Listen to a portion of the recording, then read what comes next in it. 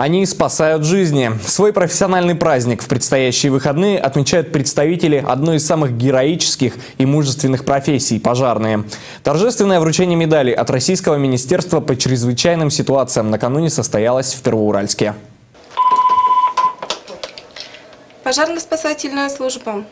Хорошо называйте адрес. Проспект Ильича. Угу. Что случилось? Задымление?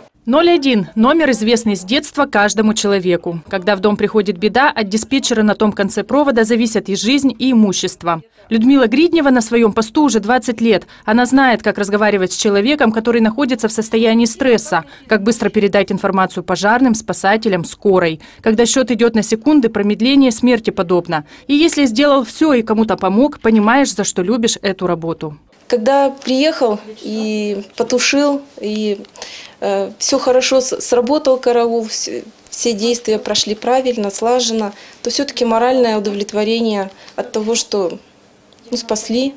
Часто очень спасаем и жизни людей. Вот ребята в карауле спасают, обыкновенные люди. Заходят в высокую температуру. Ну, просто очень героическая профессия. Сегодня Людмила Гриднева в числе двух десятков сотрудников Первоуральского пожарно-спасательного гарнизона получает медаль МЧС России за безупречный труд. Служу России.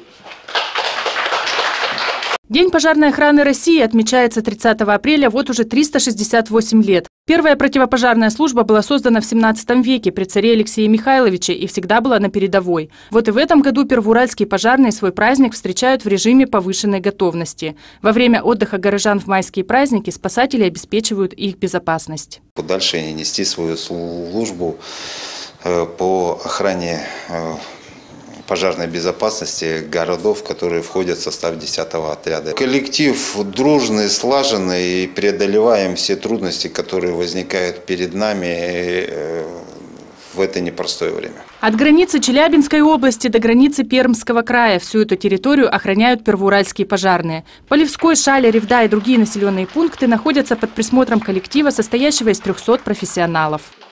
Таисия Пономарева, Евгений Шилов, Служба народных новостей.